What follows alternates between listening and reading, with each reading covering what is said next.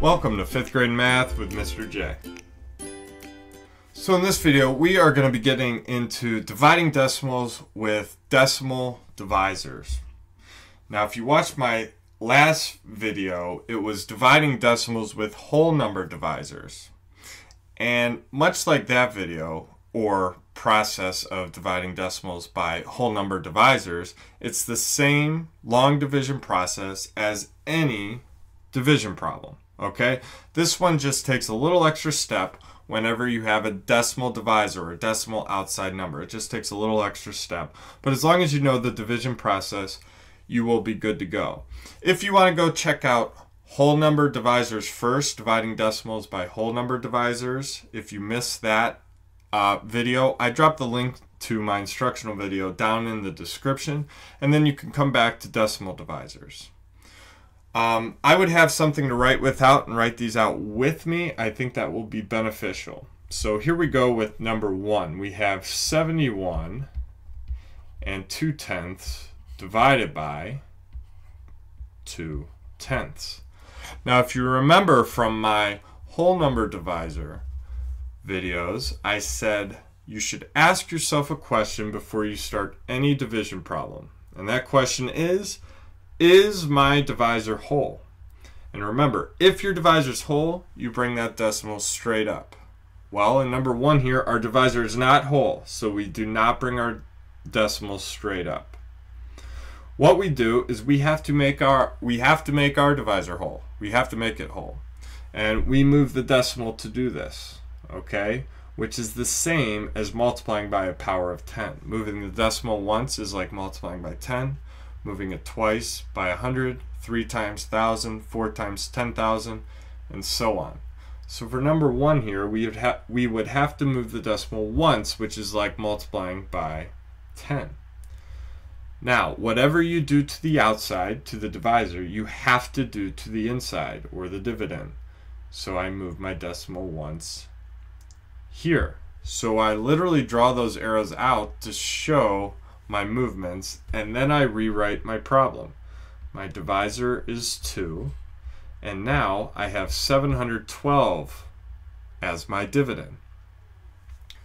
Doing this, moving that decimal, will put the decimal in the correct place for my quotient.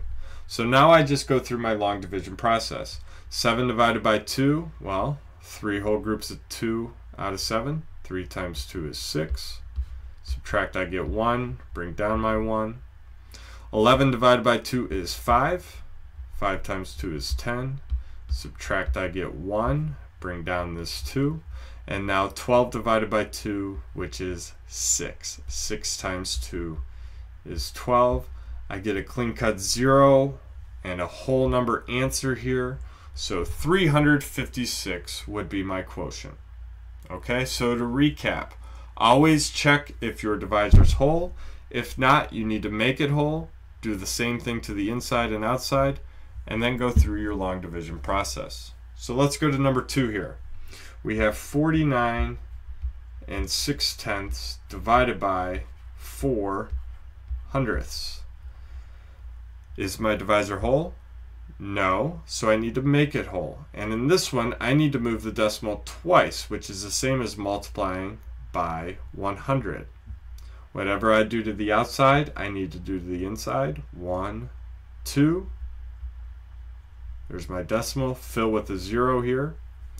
So, rewrite my problem. 4 is my divisor, and 4,960 is my dividend. And now I just go through my long division process. 4 divided by 4 is 1. 1 times 4 is 4. Subtract, I get 0. Bring down that 9. 9 divided by 4 is 2. 2 times 4 is 8. Subtract, I get 1. Bring down that 6. 16 divided by 4 is 4. 4 times 4 is 16. Subtract, I get 0, and bring down this 0. And here is one of the most common mistakes when it comes to division. Because we have a 0 down here, we think we're done. But in reality, we are not done. We need to go all the way over to our lowest place value here, which is the ones place. We need to fill that spot with something.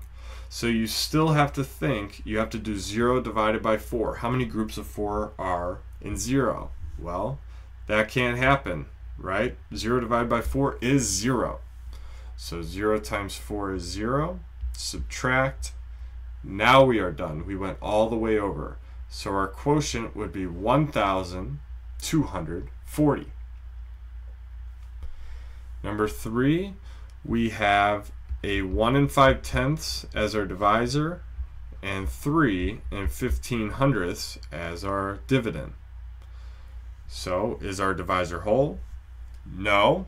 It's in between 1 and 2. It has a whole number, right? It has the 1, but it's not an exact whole number. It's in between 1 and 2. So we need to multiply it by a power of 10. And in this one, we just need to move the decimal once, which is like multiplying by 10. Do the same thing to the inside. So now my decimal is in between the 1 and the 5, and I have a 15 as my divisor. So everything is set up for me now. Is my divisor now whole? Yes, I have a 15, so I can bring that decimal straight up. 31 divided by 15 is 2. 2 times 15 is 30. Subtract, I get 1. Bring down that 5. Now I have 15 divided by 15, which is 1. 1 times 15 is 15. Subtract, I get 0. 2 and 1 tenth. And then finally, number 4 here, we have 5 tenths and 125 as our dividend. Divisor is not whole, so I need to make it whole. Move the decimal once. That means on the inside, I need to move my decimal once. Remember, decimals are at the end of whole numbers, so it goes to the end. I move it once, fill with a zero.